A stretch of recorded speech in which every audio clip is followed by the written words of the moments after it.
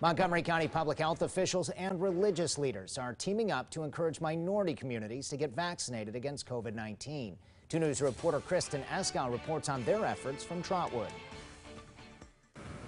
Data from the Ohio Department of Health shows some of the racial disparities in the COVID-19 vaccination process. For example, state data shows that black Ohioans are currently being vaccinated at half the rate of whites.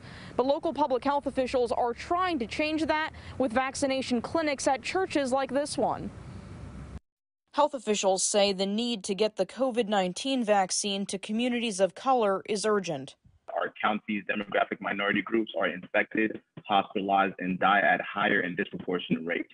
That's one reason local officials have teamed up with religious leaders to get the COVID 19 vaccine to minority communities. So far, the county public health department has held three vaccination clinics at St. Margaret's Episcopal Church in Trotwood. Organizers say they vaccinated as many as 350 people per day. No other community in the state really did this, being intentional on the front end around equity. Uh, and it's something that other cities across the state are now trying to replicate. Doctors and faith leaders are also working to encourage people of color to get vaccinated.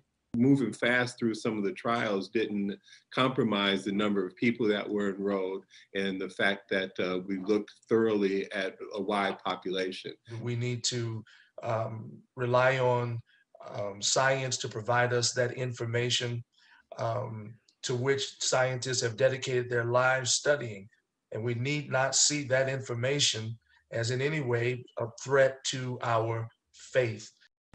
And public health officials say they're looking to bring these vaccination clinics to more churches in the area as more doses become available.